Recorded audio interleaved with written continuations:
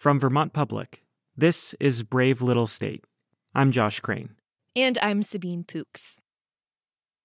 Wesley Davis grew up in the woods, specifically the woods around Mount Holly. But there was always one place where he could be high above the trees. I, I remember the first time going up there, it was like weird, kind of surreal. Like it looks kind of like a radio tower or something, but just amazing to get above the tree line.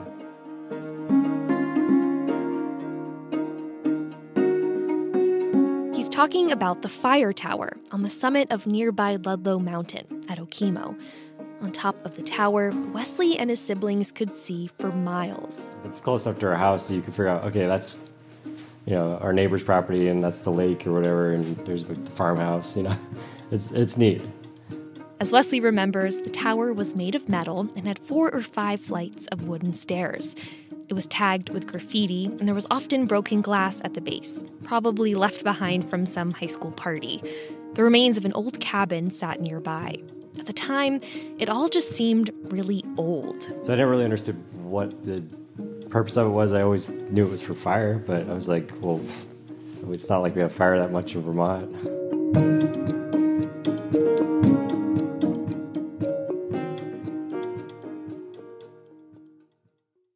Fast forward to today. The fire tower that Wesley grew up with on Ludlow is about 100 years old.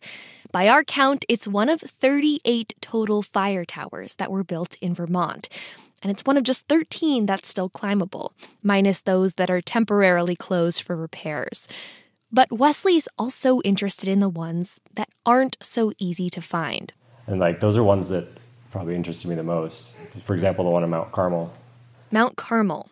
That's a peak in Chittenden that Wesley can see from his back porch, and he's heard there used to be a fire tower there.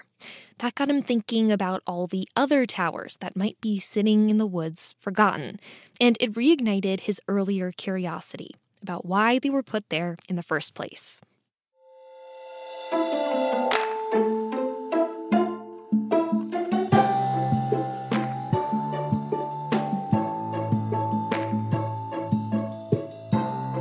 Welcome to Brave Little State, Vermont Public's listener powered journalism show. I'm Josh Crane.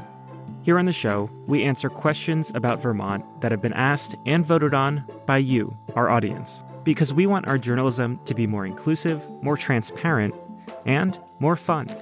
Today, what is the history of the fire towers scattered across Vermont's peaks?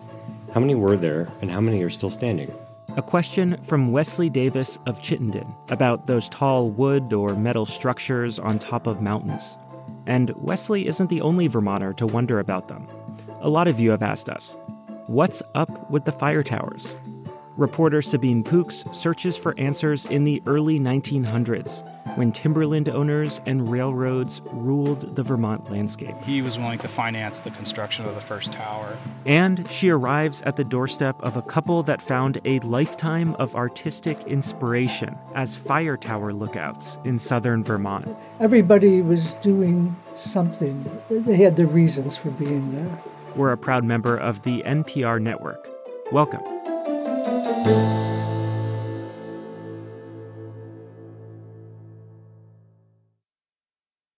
Support for Brave Little State comes from Sunset Lake CBD, a farmer owned company crafting CBD products with Vermont grown hemp. Their product listing and information on home delivery available at sunsetlakecbd.com. And City Market, a community owned food co op celebrating 50 years of food with purpose. Become a member at citymarket.coop/slash membership. My hunt for answers starts with some beginner's luck. On my first day of reporting, I'm told to get in touch with Luke O'Brien. He's a forest recreation specialist with the state of Vermont. I give him a call, and he just so happens to be standing on top of the state's oldest fire tower on Burke Mountain, working on some repairs. I join him up there the next day. Well, should we go up? Yeah, let's go check it out. Sweet. It's an impressive structure, ladders zigzagging up the tower's metal torso into the clouds. Climbing up feels a little treacherous. You know, three points of contact maybe, and Okay. take it easy. The fire tower on Burke in the Northeast Kingdom is the oldest and one of the tallest towers in the state, with sweeping views of Willoughby Gap and the Green and White Mountains. The cab of the tower, that's the small closed in hut at the top, is tagged with the names and initials of visitors who've proudly stomached the daunting heights and ripping wind to get to this point. It's distracting with the wind. Yeah. It's hard, it's hard to concentrate. But it's amazing. We get out of the wind and head to the base of the tower to chat. A ski lift sits idle nearby in summer hibernation, and a few yards away there is another tower that stands even taller. What is this broadcast tower we're looking at? I think it's for Vermont Public Radio and Vermont Public, I should say. Yeah. So yeah, there's a lot of infrastructure here on Burke. Um, Luke has been restoring fire towers like this one for more than 20 years.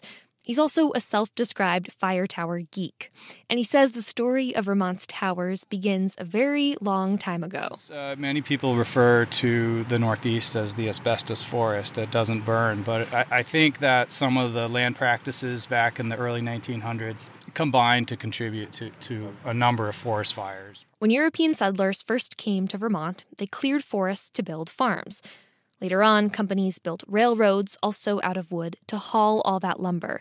And that meant there was a lot of dry wood sitting around, waiting to catch fire. In the early 1900s, a series of wildfires burned more than 15,000 acres across Vermont. So it was quite large, more than your average uh, small forest or field fire. So I, I think it drew the attention of folks. Those fires cost the state a fortune and set in motion a few big changes.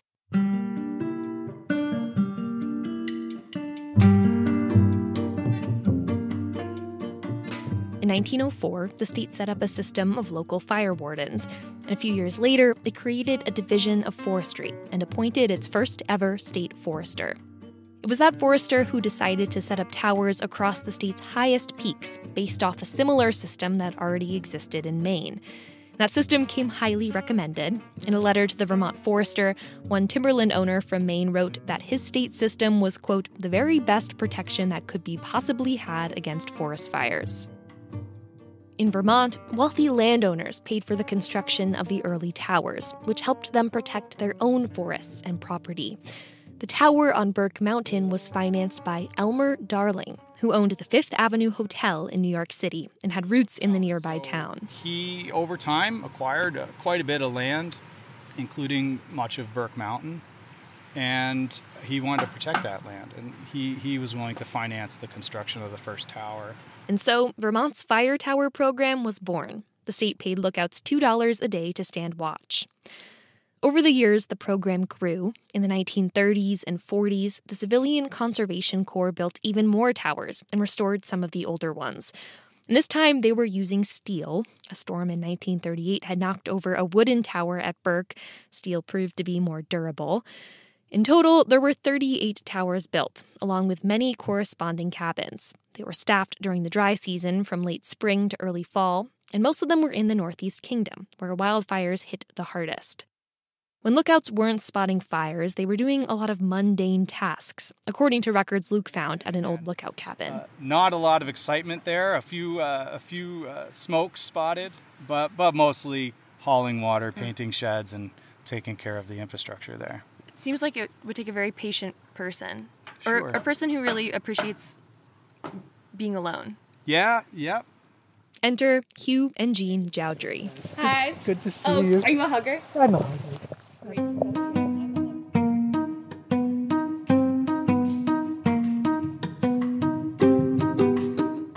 For people who spent 37 summers of their lives in a cabin in the woods on top of a mountain, Hugh and Jean are surprisingly outgoing. How old are you two? Uh, no, you're 95. no, I, I, I just turned 79. I'm, I'll be 86 soon. Yeah. Yeah, so you're going for it. Oh, absolutely. you're going for it. When Hugh and Jean were in their 20s, they took jobs as fire watchers on top of Stratton Mountain in southern Vermont. Recently married and looking for adventure, the couple joined just as the program was starting to wind down in the 60s, and they stayed for 11 years. Today, they live at the base of Stratton, in a cabin that's filled every inch with books and art, paintings by Jean, and sculptures by Hugh. In early September, I joined them on their screened in porch, along with today's question asker, Wesley, and his baby Veery. Room, I think, for everybody. Definitely. There'll be a little more room once I finish doing her diaper. Sure. Sorry. Sure. Wesley and I are here to get an answer to his question about the history of fire towers in Vermont. But there are some other questions that Hugh already knows we're going to ask because, well, everyone does. Four questions I, I, I condensed it to. Number one, uh, doesn't it get lonely up here? Number two, what do you do? Number three, how did you get a job like this? And number four, when are you leaving? They're interesting questions, and they're the types of questions, after all, that have become the center of so much fire tower lore, like in Jack Kerouac's novel, The Dharma Bums. The book ends with the protagonist working as a lookout on Desolation Peak, searching for truth. He writes about meditating one night outside the tower. Quote, Here indeed was the great truth cloud, Dharma Mega, the ultimate goal. That interest in spiritual contemplation is partly what brought the Joudrys up to Stratton in the first place. They were living in Buffalo, New York. Hugh was a math teacher, and Jean was a graphic designer. And then we said, well, this is kind of boring. What are we going to do with the rest of our lives? At the time, Hugh was in a playwriting course. That's where he met a friend who he found incredibly serene. So I finally asked him, I said, How can you sit there like that so still when all this is going on? He says, Well, Joudry, I'll tell you. In the springtime, I go to Okemo Mountain and I go up in the fire tower with a lot of books and I just watch for fires. I said, They pay you to watch for fires? Just to sit up there and do that? Can I get a job like that? You know, I want to get out. Hugh says he was looking for intellectual adventure and time to read books about mythology and philosophy. Jean wanted some space to paint and to figure out what was next. The job of fire tower lookout fit the bill for them both. Luckily, the watch on Stratton was ready to move on. Hugh's friend wrote down the number for a contact with the Forest Service and told Hugh to give him a call. So in May 1968, Hugh and Jean took a chairlift up to the top of Stratton to start their new job and meet their supervisor. He had his doubts, you know. We were we looked like nervous city slickers, and Yeah. we wouldn't really last last the season. But so he says very few words, you know. He says just learn your territory, you, and see you later. And there we were, isolated in this And it's uh, snow covered. It's May. It's May twenty first, and it's it's mm-hmm. snowing heavily. Hugh and Jean were to stay in a tiny cabin near the fire tower and report down to the base twice a day using a radio. All the while, they were scanning the vast landscape below. Here's question asker Wesley again. When you say scan, do you mean scanning with naked eye or with binoculars? With the naked eye, you, you sort of know the ridge lines totally, and that whole thing, and then something stops. You don't even know why you're stopping. Reports weren't always met with the urgency that Hugh and Jean expected, having come from the city. Hugh recalls one particularly slow going call in his first year of fire spotting. And I spotted a smoke over here in Sheldon Hill, and I called the warden up and I said, "Well, um, would you uh, please check it out?" Yeah. you? Hmm, it's a long pause. Oh, yeah. So, uh, okay, um, I'll see you later then. okay, so three days later, I got a ring on the phone. He says, I got it. That's all, no, five words. And a whole, things were slow. Still, Jean says their jobs felt important in a time when the conservation movement was picking up steam and the country was celebrating its first ever Earth Day. When they weren't fire spotting, the Joudrys tended to their mountaintop garden and made frequent trips to a water spring a quarter mile away. They made pets out of the wild hares and subsisted off what Jean calls a Spartan diet of ham, spam, and spaghettios. It's a wonder we lived. you can do without a lot. Yeah. How much were you guys making a season for this work? Oh, Oh, about five bucks maybe. no, probably uh, probably about ninety dollars every every two weeks. This was a time before hikers frequented Stratton Mountain, so Hugh and Jean were mostly completely alone. So they had plenty of time to get to their books. Jean says they read to one another at night as a way to connect. The first author they read together was Dostoevsky, a Russian writer who wrote long philosophical novels. I was reading it like, you know, this lamp was was asthmatic. You know, it was a Coleman lantern, and there's this misery, this Russian misery, and I said, well, If, if, uh, maybe if you read the darkest books possible, you, you realize you realize no you, you have no somebody somebody you know? that's very nice with you. Hugh says the solitude changed his life. what happened was it was so different, the environment, mentally and physically, that I started I, I started having dreams in which there was no narrative. I said, "What the? There's no story. You're here, man. You're, It's okay now." We weren't talking to anybody but each other for the most part. I guess I was expecting that the isolation would be a pitfall of the job, or something for lookouts to put up with. But according to Jean, it was actually a draw. And not just for them, but for the other lookouts around Vermont, too. There was a woman on uh, Mount Olga. She was planning on becoming a nun, and she want she liked the solitude. And of course, Fran was reading his thousand books, and you know, Aspiring to be a writer. That was the to be a adventure, right? There was a teenage woman on Burke who they talked to sometimes on the radio, and a friend on Elmore who was translating Tibetan poetry to English. everybody was doing something that they had their reasons for being there. And Hugh got around to writing his play about tourism and real estate development around Stratton. The play was later produced and broadcast by public radio station WFCR in Amherst, Massachusetts. And now, in stereo, we present Visitors, an original non drama by Hugh Joudry. Bang, bang, bang against the trees. Down they go. Bang, bang, bang. It's pretty abstract. Doesn't it get lonely here? How do you get your food? What do you do in the winter? Didn't you have to get certified to sit here? Is that all you do is sit around here? What do you do in the How do you winter? get your food? What do you do in the winter? From the late 60s to the late 70s, Hugh and Jean thrived as fire lookouts on Stratton Mountain. Then something changed. Vermont's fire tower program came to an end.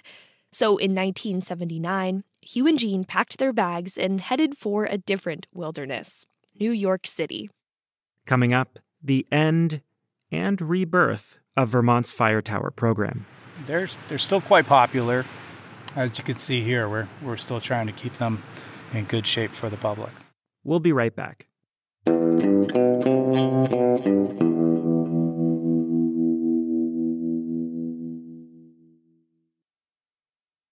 Support of Brave Little State comes from Vermont Fish and Wildlife, working to conserve the state's wild places and their natural communities through the 2023 Vermont Habitat Stamp. VTFishandWildlife.com. By the late 1970s, Vermont had phased out pretty much all of its fire towers. One reason for the shift was that there just weren't as many wildfires anymore. The lumber and railroad industries that had caused so many fires earlier on were no longer threats to the landscape. And thanks to campaigns like Smokey the Bear, the public had a better sense of how to be safe when it came to preventing fires. Remember, only you can prevent forest fires. But the state faced a new problem what to do with all those old towers. Its answer was to put many of them on the market for just a dollar apiece. As the Associated Press reported at the time, there was a catch. Buyers had to go get, dismantle, and haul out the towers themselves, many of which weren't accessible by road. It was a hard sell.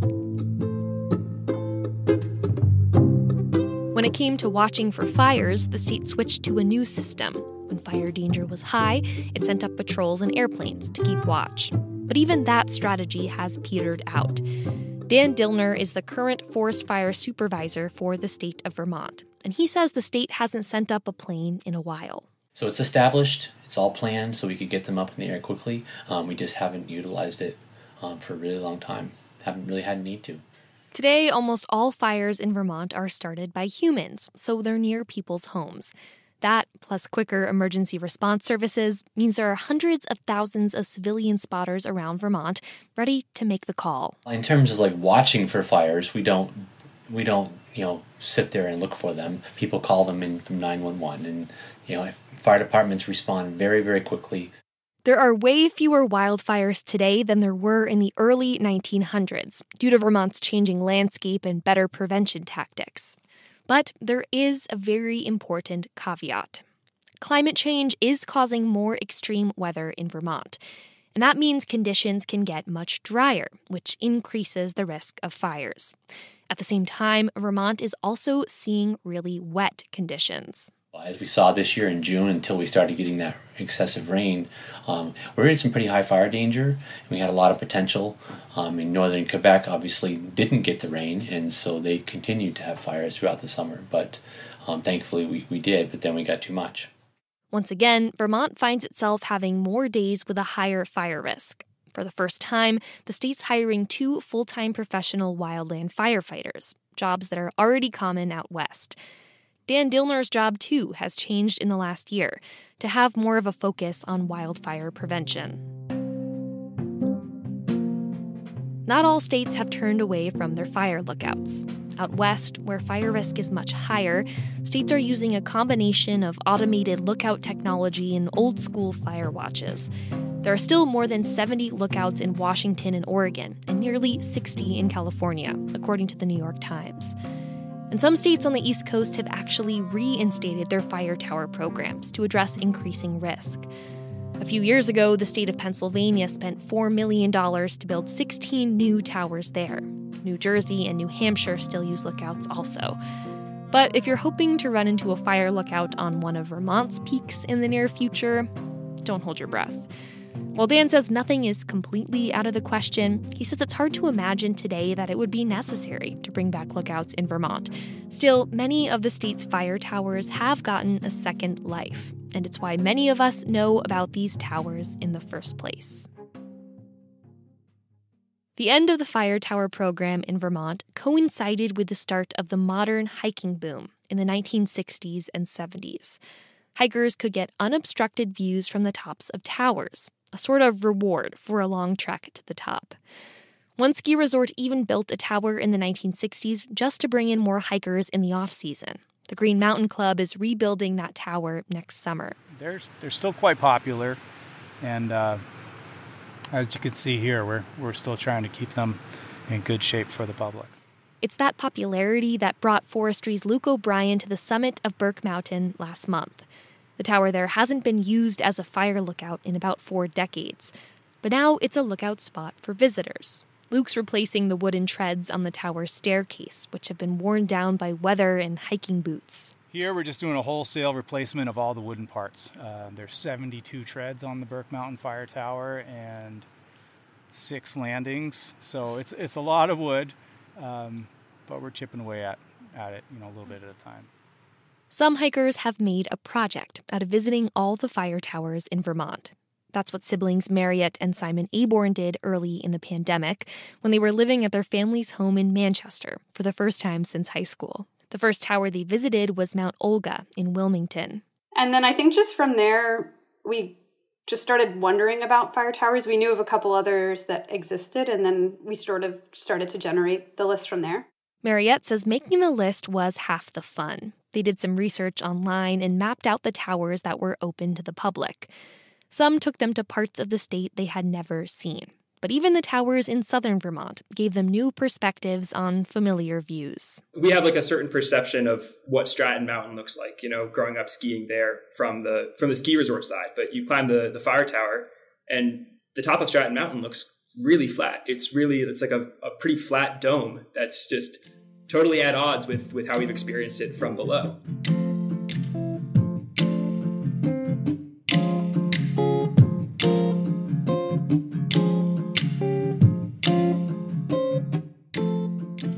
As for Hugh and Jean Joudry, after they left their fire lookout in 1979, they couldn't stay away forever. In New York, they found themselves often making the drive to hike and camp in the woods, upstate. So in 1996, they came back to their cabin in Fire Tower on Stratton, this time as caretakers with the Green Mountain Club.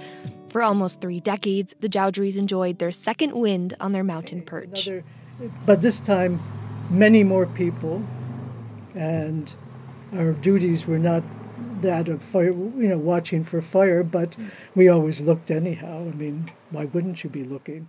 A lot had changed since Hugh and Jean left. The tower was now a lookout for tourists and through hikers who were coming by on the Appalachian and Long Trails. What was initially a monkish artist refuge had turned into quite the social scene. Jean and Hugh, delighted by the company, invited hikers into their cabin for tea when it was raining and on some occasions for pancakes. They maintained several miles of trails and met hikers from all over the world. Like the towers themselves, they became local legends. They met a man who was setting a speed record on the Appalachian Trail and stopped him for a quick autograph. In his book, the runner said he wished he had more time to talk to the wise old French Canadian couple at the top of Stratton. Wouldn't you know? That day, a guy from Georgia comes up. He says, I, "Hey, y'all, I know you got some wisdom to pass on." So I says, "Oui, monsieur. Uh, if you have maple syrup, s'il vous plaît, uh, keep it under lock and key." That's that's the that's the way. Okay, stick with the script. That's that's the wisdom. I mean, I'm sure a lot of people saw you guys as these like enlightened mountain beings, right? Yes. Sometimes, yes. Yes. Yeah. Is there truth to that? There is tr- well. Yeah, I, I don't know. I, I, I, don't have been know. working on it. You know.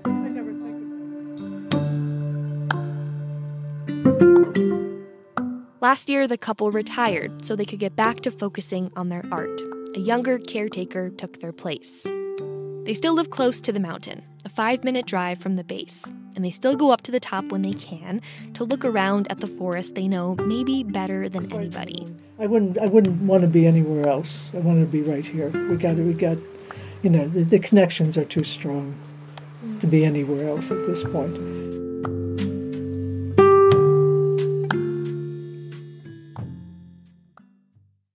Not all fire towers have stood the test of time, which brings us to this postscript in our story. First, some quick math. At the top, we told you there have been a total of 38 fire towers in Vermont. 13 of those towers are still standing and still climbable, though two of them are currently closed for repairs. A handful of others are privately owned. And that leaves about 20 that are no longer standing, including the fire tower on Mount Carmel. That's the one that sparked the curiosity of our question asker, Wesley Davis. Wesley's heard it's still out there, so we decide to go find it ourselves. On a cloudy Tuesday, colleague Joey Palumbo and I head to Chittenden and load up in Wesley's red pickup truck. Our mission is one of redemption. Wesley has tried to find this tower before on a nearby mountain. Long story short, we went up there and didn't find any fire tower. We head up the long trail a ways, past a group of through hikers, and then up Mount Carmel itself, bushwhacking our way through. Eventually, we rejoin a narrow trail, and then, all of a sudden, Oh my god. Oh wow. Like completely intact, just on its side. in the middle of what feels like nowhere, there's a huge hunk of metal turned completely horizontal. The ladder running up its side is twisted like a roller coaster track, and it's overgrown with trees that have at parts wrapped fully around its legs. We later find out that the tower was toppled by the state in the 70s, likely because it was a liability issue. The cloud cover clears, and Wesley climbs up the tower's side. Like he did when he was a kid on Okemo, he looks out for landmarks. You can see mountaintop quite well. Yeah, the reservoir's due south. Cool. But yeah, you got to get up here, soon. All right. I'm coming. Can see what Jean meant. It would be easy to spot a disturbance up here, a flash of orange or gray interrupting rolling green. Up here, there are no gondolas, no graffiti, no smashed up glass bottles. Just metal and earth and us.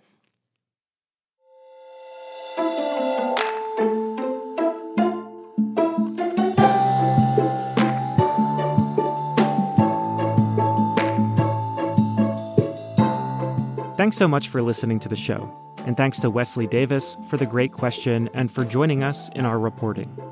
To see a map we put together of all the fire towers in Vermont, past and present, head to our website, bravelittlestate.org. While you're there, be sure to sign up for the BLS newsletter. We're on Instagram and Reddit at BraveStateVT. This episode was reported by Sabine Poux. who also did the mix and sound design. Produced and edited by me, Josh Crane. Additional support from Sophie Stevens, Corey Doxer, and Joey Palumbo. Angela Evancie is Brave Little State's executive producer. Our theme music is by Ty Gibbons. Other music by Blue Dot Sessions. Special thanks to Mark Howow, Ron Kemnow, Mary Jo Llewellyn, Peter Hayes, Alan Thompson, Keegan Tierney, Prudence Doherty, Jules Sundberg, Liam Elder Connors, and Danielle Kovacs. Brave Little State is a production of Vermont Public. If you like our show, you can make a gift at bravelittlestate.org/donate, or leave us a rating or review on your favorite podcast app. We'll be back soon with more people-powered Vermont journalism. Thanks for listening. Black perspectives haven't always been centered in the telling of America's story. Now, we're taking center stage. Introducing NPR's Black Stories, Black Truths, a collection of Black led stories from NPR's podcasts. Search NPR Black Stories, Black Truths wherever you get your podcasts.